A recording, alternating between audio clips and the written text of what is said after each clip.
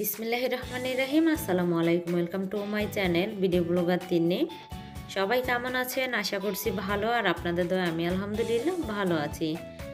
আমার যে সকল ভাই বোনরা নিয়মিত আমার ভিডিও দেখেন, আপনাদের সবার জন্য আবারও নতুন একটা ব্লগ নিয়ে আপনাদের মাঝে ফিরে এলাম।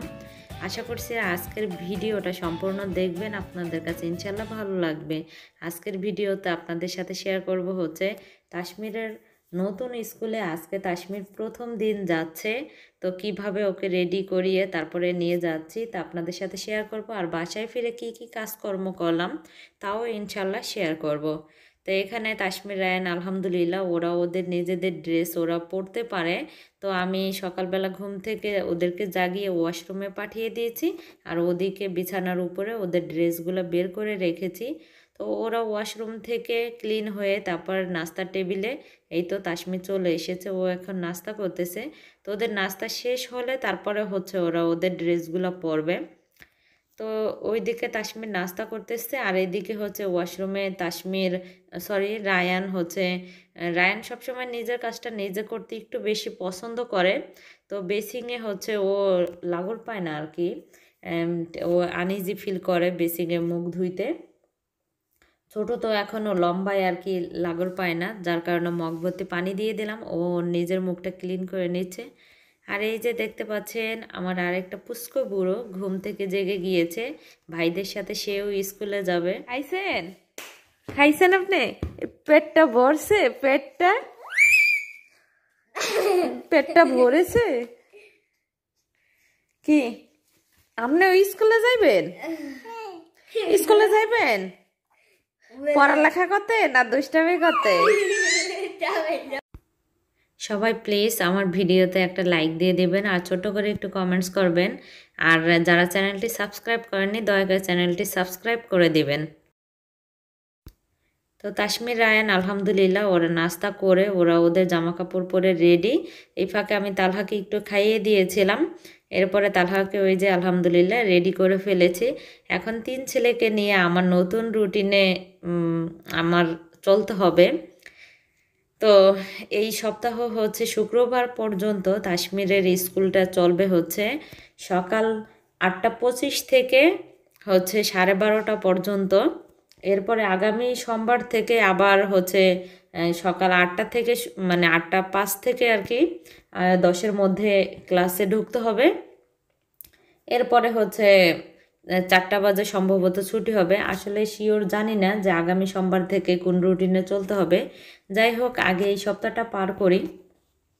তো আমি ওদের তিনজনকে নিয়ে এই তো বেরিয়ে পড়লাম। কাশ্মীর হচ্ছে এই তো ফুল হাতাওয়ালা গেঞ্জি বের করে দিয়েছি ওদেরকে। কারণ বাহিরে মাসাল্লাহ ভালোই ঠান্ডা। আর ওয়েদার তেমন একটা ভালো না। এই তো, আলহামদুলিল্লাহ আপনাদের দোয়া এবং আপনাদের ভালোবাসায় দীর্ঘ তিন মাস পর এই তো কাশ্মীর হচ্ছে এখন স্কুলে আসলো, তাও আবার নতুন স্কুলে। তো এই সাইডের এরিয়াতে দেখেন মানে ভিউটা কেমন। স্কুলের সামনের দৃশ্য এটা, আকাশের রংটা আমার কাছে খুবই ভালো লাগে আর আমি বাইরে বের হলে চারিপাশটা তো সুন্দর করে দেখি, তার চেয়ে বেশি সুন্দর করে দেখতে চেষ্টা করি আমার মাথার আকাশটা। কারণ মাথার উপর নীল আকাশটা যখনই দেখি, মন মাইন্ড সবসময় ভালো হয়ে যায় আমার।